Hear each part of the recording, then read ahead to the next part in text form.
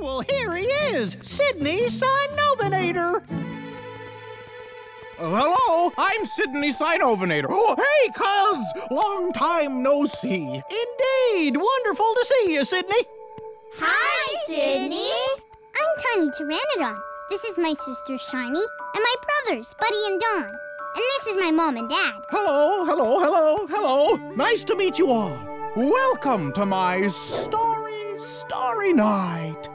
You look at the stars a lot, right? Oh, yes, I do. I look at the stars more than I look at anything else. The stars and I are friends to the end. Sidney, I've been looking at the stars for a dawnstellation. Uh, Dawnstellation? Yep, a star picture that looks like me. Hmm, uh, I haven't seen a Dawnstellation, Dawn. Uh, but my stars, I would really like to. Sidney and Mr. Conductor, since you're troodontid cousins, I was wondering if we could compare your features. Excellent suggestion, buddy.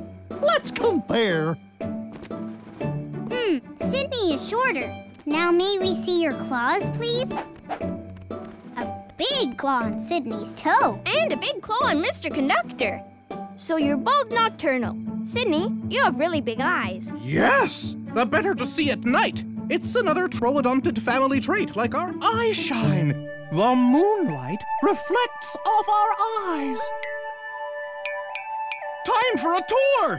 A sky tour! You came on a great night, just a sliver of a moon. We should hurry. We don't want to keep the stars waiting too long. Hmm? Sidney, we saw that really bright star earlier at home in the same spot. Oh, yes. That's the star of the nightly starry show. Bravo! That star can be found in the same spot, pointing toward the north. I call it Bright Star. How about the sauropod constellation? Shouldn't it be right where I saw it? Good question, Tiny. Often it is hard to find certain stars and constellations. Uh, do you know why? Because there's so many stars up there? I like that answer. Me too. And you're right, buddy. Uh, from here on Earth, we can only see thousands of stars, but there are so many more stars up there in the sky that we can't see. Millions, right? Actually, billions. My cuz is right. Billions and billions of stars. Impossible to count them all. One, two, three, ten, hundred, two million. Yep, looks like billions to me. but Sidney, the sauropod constellation isn't in the same spot where it was before. Yeah, I wonder if my hypothesis was right. Aren't the stars always in the same spot? I think I can help with this where are the constellations question. Who wants to go to my super special stargazing site? If you do, say, I do, Sidney. I do, Sidney. All right, let's go to Starry Hill. Behold, the best stargazing site ever. I feel like I can reach up and grab stars right from the sky. Me too. Huh? Oh. Hmm. I can't find the fish constellation. It probably moved like the sauropod did.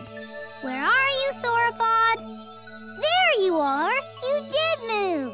I guess stars do move around, right? It may look like the stars have moved, but no, it's not the stars that are moving. It's the Earth that's moving. The stars.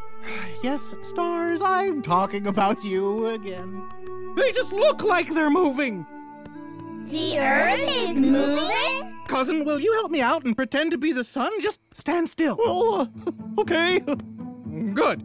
You're Mr. Sun, and I am the Earth. I spin around. And at the same time, I, the Earth, slowly travel around the sun. So the creatures on Earth get to see different parts of the sky. Oh, so it only looks like the stars and constellations move. Right. Our sauropod constellation looks like it moved to a different place in the sky from earlier tonight. But the Earth was the thing that moved. Huh.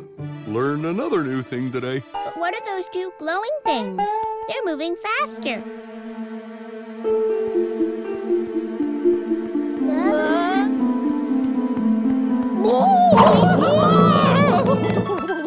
oh, Sonny boy!